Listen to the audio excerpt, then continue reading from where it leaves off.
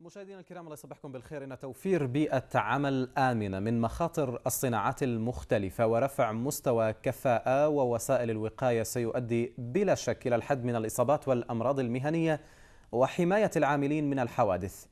إن لحوادث وإصابات العمل خسائر وأضرار فادحة مادية ومعنوية مباشرة وغير مباشرة ويتأثر الجميع من حوادث وإصابات العمل سواء كان الفرد المصاب أو أسرته أو المؤسسة التابع لها بالإضافة إلى عدد الوفيات والإصابات السالف ذكره فإنها تكلف خسائر اقتصادية هائلة. معنا اليوم فراس أبو حماد مدير السلامة والصحة المهنية في وزارة العمل للحديث أكثر عن هذا الموضوع. فراس صباح الخير. صباح النور. بداية الحديث هنا عن واقع العاملين. لو تحدثنا عن واقع السلامة العامة للعاملين في المنشآت والمصانع والمكاتب في فلسطين. والله يعني حقيقة يعني واقع السلام والصحة المهنية في فلسطين بشكل عام ضعيف وهذا برجع لأسباب كثيرة. أهمها أنه الثقافة في هذا الموضوع ضعيفة لدى أطراف الإنتاج لدى أصحاب العمل ولدى العمال. الثقافة المجتمعية بشكل الثقافة المجتمعية نعم. هي هي يعني هي الأساس في في الموضوع لأنه فاقد الشيء لا يعطيه. نعم. إذا لم تكن هناك في قناعة في هذا الموضوع وأهميته لن يكن هنالك التزام بتدابير واشتراطات السلام والصحة المهنية لا من قبل أصحاب العمل ولا من قبل العمال. يعني هذا بشكل رئيسي. طيب خلينا نحكي عن الأسباب اللي حكيت عنها. أنت قلت ضعيف ولكن في هناك أسباب. إيش هي الأسباب الرئيسية غير سببها ضعف الثقافة. أه. السبب الثاني اللي هي ضعف آليات الرقابة والتفتيش على المنشآت الفلسطينية. مين هذا اللي بيتحمله؟ وزارة العمل؟ بتحمله جزء منه إحنا في الجانب الرقابي. ويعني هذا الموضوع لأنه يعني بصراحة الإمكانيات المتوفرة لدى من طواقم عندنا في في الإدارة العامة للتفتيش وحماية العمل طواقم كثير محدودة لا تستطيع إنها تقوم بتغطية وحصر جميع المنشآت الخاضعه لقانون العمل الفلسطيني وبالتالي متابعة اشتراطات وتدابير السلامة على مستوى العمال ومستوى أصحاب العمل. بس هلا إجاكم عامل صارت معاه مشكلة لا سمح الله إصابة خطأ فادح من صاحب العمل من رب العمل. بتوقفوا معاه؟ بيكون في هناك حديث مباشر بيكون في آليات لتحفيز العمال الآخرين عشان ما يصيرش معهم في المرات الجاية أمور مثل هيك؟ يعني على المستوى يعني إذا حدثت إصابة عمل يعني إحنا طواقمنا في يعني تحديدا في هذا الموضوع ما فيش عندنا يعني ما في في جدية وفي آه تواصل من قبل المفتشين في إنه آه يحققوا في الإصابات اللي بتصير ويقوموا بالإصحاحات المهنية اللازمة في بيئة العمل من ضمنها توعية العمال بمدى المخاطر الموجودة وكيف النتائج اللي نت يعني نتجت عن عدم الالتزام باشتراطات السلام ولكن لسان حال العمال المهنية. يقول بأنه في هناك تقصير من كل الجهات، أنا هنا لا أتهم وزارة العمل ولكن الحديث من العمال بشكل عام بأنه في هناك تقصير من جهات عدة لحقوقنا. يا عم كونوا معنا على من خلال حتى بعيدا عن الصحة وبعيدا عن المهنية والسلامة. الحديث هنا عن تدبير واقع العمل خلينا نقول. يعني بدل ما الواحد يروح لدولة الاحتلال يشتغل في أراضيها يشتغل هون بفلسطين وهي مسؤولية كبيرة نعم. لكم وللجميع أيضا للحكومة الفلسطينية يعني يعني بصراحة قضية رفع واقع أو تحسين واقع السلام والصحة المهنية في فلسطين يعني يعني يقع على عاتق هي جهات عديدة منها الحكومة منها أصحاب العمل ممثلة بنقاباتهم بتوعية أصحاب العمل بأهمية توفير شروط وظروف العمل. يعني مش بس السلام والصحة المهنية كمان شروط العمل للعمال من حيث ساعات من حيث إجازات من حيث أجور. وهذا بجوز الجانب اللي بيشكي منه بيشكي منه العمال في اللي هو الجانب ما يتعلق بعدم توفر شروط عمل جيد لهم. لما بنحكي عن شروط عمل بنحكي عن إجازات أجور ساعات عمل إضافي. بما يتعلق بظروف العمل بنحكي عن اشتراطات السلامة والصحة المهنية. وبجوز اللي الجانب اللي بيشكوا منه العمال هو ما يتعلق بشروط العمل لأنه موضوع التأمين وما شابه ذلك. نعم أحكي لك بكل واقعية وأمانة. العمال مش كتير بيكترثوا بالالتزام باشتراطات حتى لو كان صاحب العمل موفرها. يعني على سبيل المثال في كثير من المنشآت اللي المشاريع الإنشائية وإحنا يعني هذا القطاع من عمالنا في عندنا حملة وطنية عليه. إنه مركزين على مشاريع الإنشاءات اللي هي يعني قيد الإنشاء.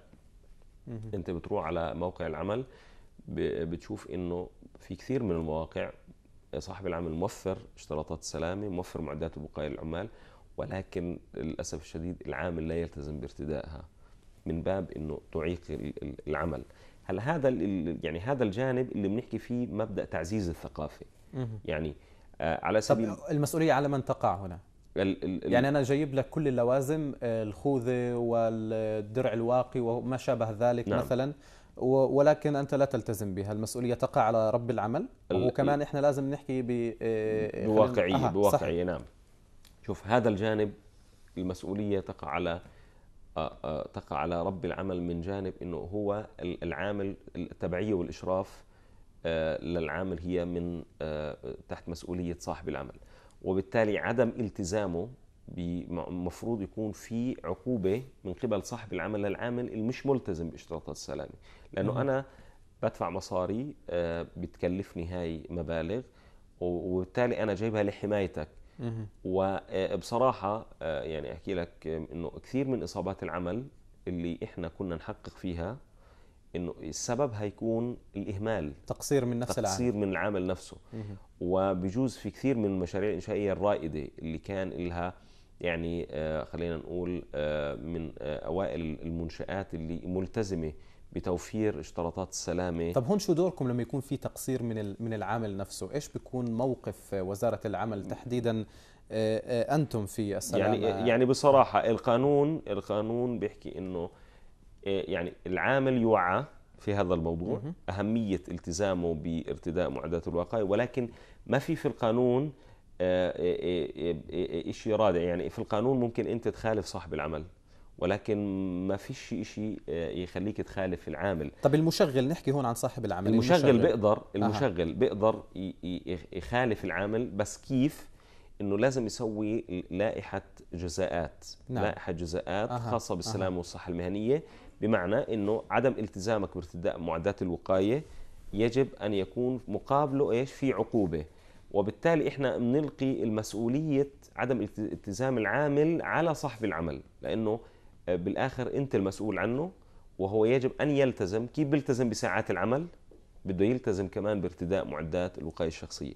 وبالتالي المسؤولية تقع في هذا الموضوع حسب قانون العمل على صاحب العمل. طب نيجي هون لقانون العمل والحديث عن الكلام اللي حكيته في بداية حديثك عن الوعي. هل فعلا يعي آه، العامل صاحب العمل بالقاء بال, بال آه، خلينا نقول آه، بالواجبات والحقوق المنصوص عليها في القانون؟ هل فعلا في هناك وعي بهذا الموضوع بالقانون نفسه؟ يعني أحكي لك بكل أمانة إنه وعلى الجهتين أنا أقصد. على الجهتين نعم. نعم. في تقصير في الجانب التوعوي يعني في بعض الناس بتعرف شو لها حقوق شو عليها واجبات وفي بعضها لا ما بتعرف. وبجوز يعني سبب إنه عدم امتثال المنشآت الفلسطينية أو آه، إلى قانون العمل الفلسطيني في جزء منه عدم وعي في جزء منه عدم التزام. يعني صاحب العمل أو العالم بيعرف شو لازم يسوي ولكن لا يلتزم لأنه هذا الموضوع عليه يعني يترتب عليه تبعيات مادية. عرفت كيف؟ يعني أنا لما أنت صاحب عمل بيعرف إنه لازم يوفر معدات وقاية لعماله بمصنع آه، بده تكلفة حوالي 20 ألف شيكل 30 ألف شيكل على سبيل المثال. فبقول لك أنا شو يعني شو جابرني إني أدفع مبالغ زي هاي؟ مش عارف إنه هي هون دور الثقافة. إنه لو بعرف إنه هذا الموضوع رايح يوفر عليه مصاري في الآخر إنه أنا لما ب ب بوفر معدات الوقاية وبوفر اشتراطات سلامة في بيئة العمل راح أقلل من إصابات العمل ومن تكاليفها سواء المباشرة أو غير المباشرة.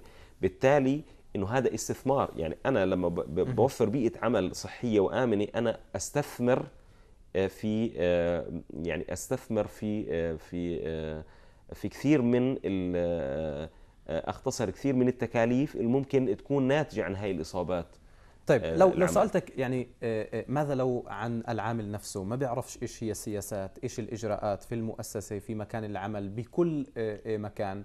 وصدقني في ناس بتشتغل ما بتعرف مين المشغل إلها صحيح. ما بتعرف مين رب العمل. شو الإجراءات اللي هون لازم ناخذها يعني إيش إيش يعملوا؟ شو شو آه، يعمل العامل؟ ولكن هو في النهاية بدور على آه، لقمة عيشه له ولأولاده ولاعياله صحيح صحيح. هلا يعني بصراحة يعني أنا هذا بلقي هذا الجانب على على اللي هي آه، ممثلين أصحاب ممثلين العمال نقابات العمال, العمال. إنها تزيد تكثف حملاتها التوعوية خصوصا على القطاعات اللي هي اللي خلينا نحكي اللي هي يعني ما إنه أنا سمعت في أكثر من نقابة يعني آه في عندنا أربع حوالي أربع خمس نقابات. أها. ولكن للأسف يعني النقابات مش في الجانب أنا متأكد راح يزعلوا مني لأني طرحت هذا الموضوع بس للأسف يعني أنا شايف في هناك أكثر من نقابة والعامل بيشكي دائما آه شوف بدي أحكي لك في هالموضوع يعني آه قديما كان آه كان كل واحد يتحفظ على اللي عنده بس بس من جديد آه يعني بحكم إحنا زدنا آه، جانب التعزيز التنسيق ما بين أطراف الإنتاج الثلاثة وبالتالي أصبح كل واحد عارف شو دوره ومش يعني ومش مش راح يكون خجلان إنه يقول أنا في عندي تقصير في هذا الجانب لأنه على الأرض معروف إنه في ضعف في التوعية. يعني هذا الجانب شوف العامل حتى ياخذ حقه في جانبين الجانب التوعوي حتى يعرف إيش له حقوق لازم يتوعى وهذا الجانب بيكون على هو النقابات العمال في توعية العمال شو لهم حقوق شو واجبات حسب قانون العمل الفلسطيني والتشريعات الصادر مقتضاه الجانب الثاني إنه العامل نفسه كمان إذا هو حس بغبن أو في ظلم لازم يتوجه لوزارة العمل يقدم شكوى في في في في الإصابة والقانون بيحميه. يعني إنه أي عامل بيقدم شكوى في بتتعلق آه، بشروط أو ظروف نعم. عمله المفروض القانون يحميه في إنه إنه صاحب العمل ما يأخذ فيه إجراء آه، قانوني تعسفي بحقه في هذا الجانب إذا هو اشتكى في أي شيء بيتعلق بشروط وظروف عمل طيب موضوع العمل والفصل التعسفي وما شابه ذلك لكم علاقة فيه ولا إنه هو فقط التركيز على السلامة وال خلينا لا طبعا الشيء. إحنا أه. إحنا بنراقب على شروط وظروف العمل يعني يعني فصل العامل من عمله آه، فصل العامل بدون مبررات بدون مبررات. هاي والله أضرارها كثيره يعني واحد طبعا. يروح لهم فصلوا ما هي كمان لها علاقة بالسلامة وبالصحة وبالنفسية. صحيح صحيح. يعني ما هو هذا ليش قلت لك إنه القانون كفل للعامل؟ آه، حقه في ال ال ال الاعتراض والشكوى وحقه في إنه آه، ما يتخذش صاحب العمل في إجراءات تعسفية لأجل إنه شكى من آه، من تقصير من صاحب العمل في حقوق له هلأ وفي حال إنه صاحب العمل اتخذ إجراءات مترتبة على الشكوى اللي قدمها العامل هون بصير صاحب العمل وقع في شيء اسمه طائلة الفصل التعسفي. يعني بده يكون تعويضه للعامل بدل ما يدفع له شهر مثلا عن بدل مكافأة نهاية خدمة عن كل سنة بده يصير يدفع له ثلاث أشهر. بس اللي ببت في هذا الموضوع إنه فصل تعسفي أو لا القضاء مش إحنا. طيب سؤال سؤال مهم. واحد جاي يتدرب آه، مثلا لمدة آه، ثلاثة شهور في آه، مؤسسة ما في مكتب ما يعني على كل الأصعدة خلينا نقول بالعمل. وأثناء فترة التدريب حدث ما لا يحمد عقباه لهذا المتدرب. نعم. إيش شو شو الإجراءات اللي أنتم ممكن تاخذوها يعني يعني عادة في المؤسسات صارت معكم؟ آه طبعا صارت. آه. هلأ في المؤسسات اللي بي بي بيقوموا بتدريب ناس بتكون عندها للتدريب أو يعني شروط عملها شروط عملها وظروف عملها لازم تكون زي أي موظف موجود في الشركة. يعني إنه هذا العامل لازم تتوفر له آه، شروط وبيئة عمل سليمة آه، توفر له كل الاحتياجات اللازمة له في هذا الموضوع لحمايته.